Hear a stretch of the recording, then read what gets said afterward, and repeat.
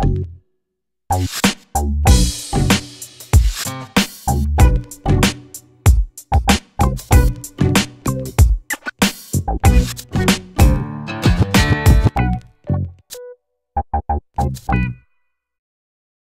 schools, the importance of humour. So that's what we're going to do now. So, can you just imagine for me, you're at the comedy store.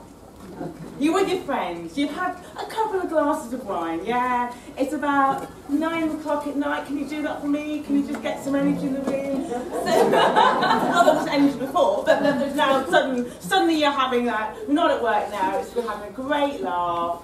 So I'm going to go back, I'm going to introduce myself, and then we're going to get ready for some for, for like comedy vibe, yeah? Yay. Right.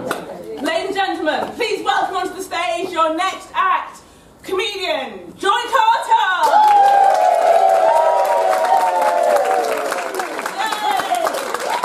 Yay. Right, right, so lovely to be here. Well, I'm going to speak to you first about humour and why it's important. Now, I got into it by reading a really amazing article about the importance of humour in the Daily Mail, so it must be true. they basically gave them stats. They said children laugh 200 times a day, adults 15. Some people here need to trim up.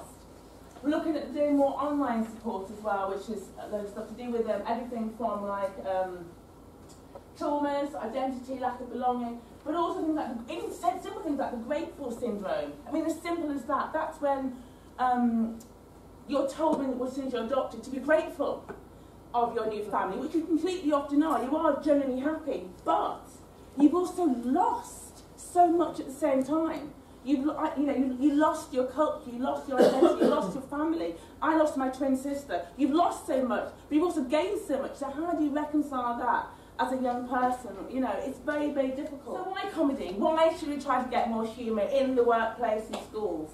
Well, basically, I love this. This is brilliant. This is a brilliant book if you ever want to read it on Amazon. Humour's Hidden Power by Nicole Ford. I'd like to meet them.